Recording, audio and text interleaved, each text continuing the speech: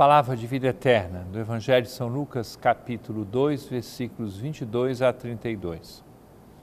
Quando se completaram os dias para a purificação da mãe e do filho, conforme a lei de Moisés, Maria e José levaram Jesus a Jerusalém a fim de apresentá-lo ao Senhor.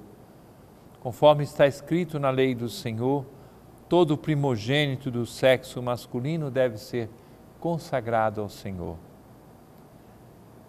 Foram também oferecer o sacrifício, um par de rolas ou dois pombinhos, como está ordenado na lei do Senhor. Em Jerusalém havia um homem chamado Simeão, o qual era justo e piedoso e esperava a consolação do povo de Israel. O Espírito Santo estava com ele e lhe havia anunciado que não morreria antes de ver o Messias que vem do Senhor. Movido pelo Espírito, Simeão veio ao templo quando os pais trouxeram o menino Jesus para cumprir o que a lei ordenava, Simeão tomou o menino nos braços e bendisse a Deus. Agora, Senhor, conforme a tua promessa, podes deixar teu servo partir em paz, porque meus olhos viram a tua salvação, que preparaste diante de todos os povos luz para iluminar as nações e glória do teu povo Israel promessa antiga, a visita de Deus ao seu templo.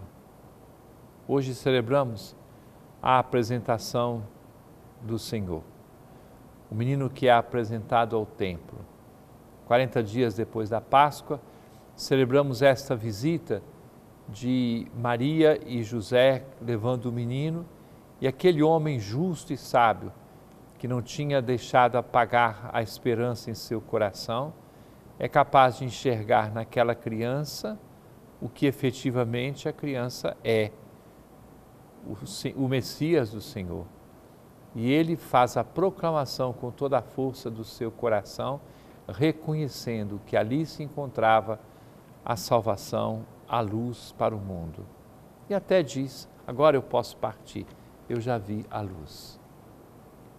Caríssimo irmão, caríssima irmã, Deixemos que a luz da fé se acenda cada vez mais em nosso coração e que hoje, reconhecendo no menino Jesus, porque termina toda essa influência da celebração natalina em nossas orações, em nossas meditações, que nós também proclamemos que Jesus é esta luz que ilumina todos os corações e as estradas do mundo.